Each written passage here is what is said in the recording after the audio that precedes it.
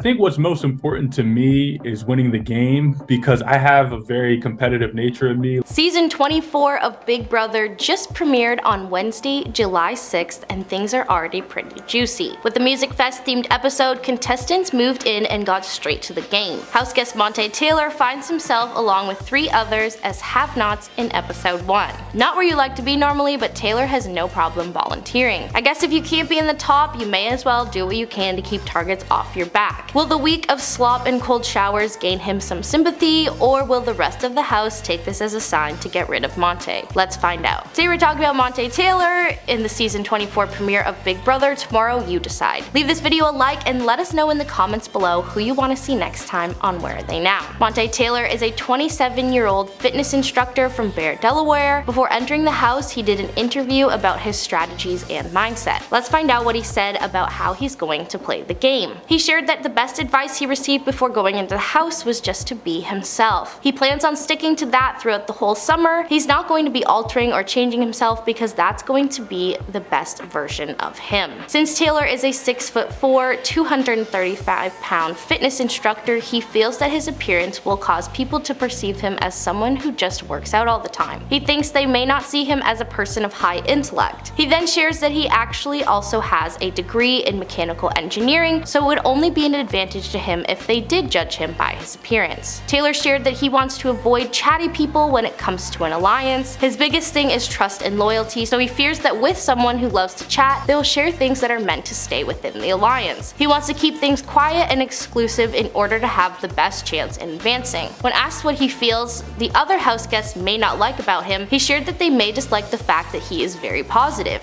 He tends not to get into any drama or entertain a lot of that stuff. He also doesn't share too much in general, which he plans on carrying into the house. He wants to keep his feelings on certain situations to himself just to stay out of the mix on a lot of things. So the other house guests may not like that they can't read him all that well. When asked if he would rather flip the votes against the house to help his individual game or go with the house to help his overall alliance, he shared that he'd rather go with the house. His reasoning for this answer was he didn't feel it would help the situation to flip the house if his alliance already had trust and loyalty built in. He seems to really want to focus on that trust and loyalty throughout the whole summer. He wants to make sure he goes with the alliance to make sure they all continue to advance their game. From his answers in this interview, it seems like Monte is a no-nonsense guy who is ready to go all the way to the top. He seems like he will be a good player to have on your side. However, in the premiere of season 24, he ended up on the other side of things. Is he all talk or will his strategy carry him to the end? So where is he now? Let's recap all that went down